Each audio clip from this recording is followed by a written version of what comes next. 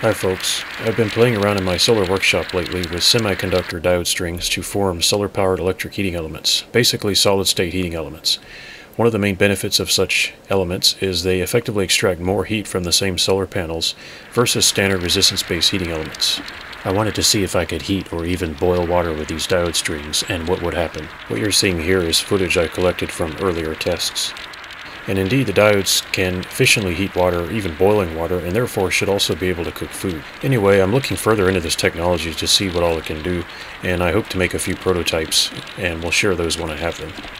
Here I'm using a combination of either one or two 100 watt solar panels mounted outside the wall on my solar workshop. Both options were effective, obviously two panels are much more powerful.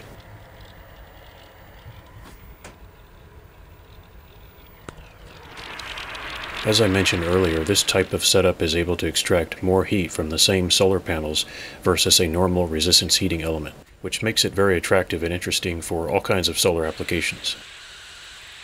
There's another video on the way that's going to explain how the efficiency and everything else works in far more detail.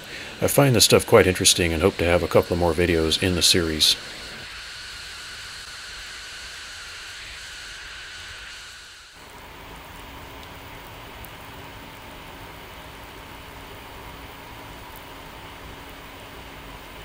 I've already tested diodes like this for heating my workshop directly off of solar panels, and there's a video of that posted in the description. It does seem to work pretty well, although there are certain challenges.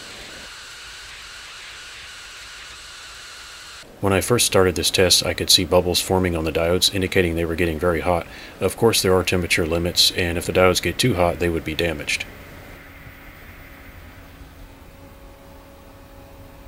This is the first part of the test where the temperature is only around 115 degrees Fahrenheit.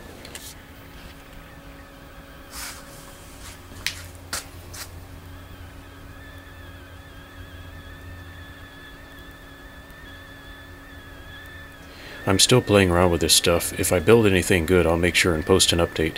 Thanks for watching and see you later.